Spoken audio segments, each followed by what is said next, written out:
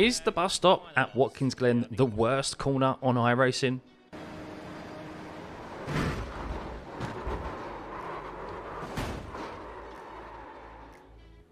Ah.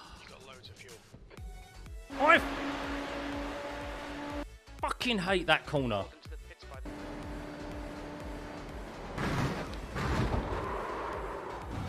Ah, uh, fuck that bus stop. Fuck it. Fuck that bus stop.